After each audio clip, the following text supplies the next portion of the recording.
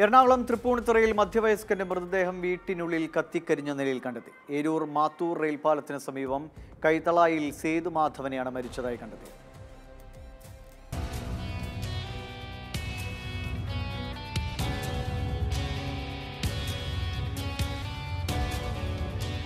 ശനിയാഴ്ച പുലർച്ചെ പന്ത്രണ്ടരയോടെയാണ് ഏരൂർ മാത്തൂർ റെയിൽവേ പാലത്തിന് സമീപം കൈതളായി ശ്രീധരമേനോന്റെ മകൻ സേതുമാധവനെ വീടിനുള്ളിലെ മുറിയിൽ കത്തിക്കരിഞ്ഞ നിലയിൽ കണ്ടെത്തിയത്.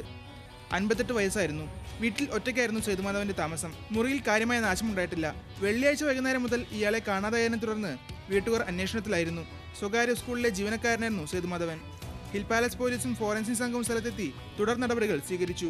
മൃതദേഹം പോസ്റ്റ്മോർട്ടത്തിനായി കളമശ്ശേരി മെഡിക്കൽ കോളേജിലേക്ക് മാറ്റി.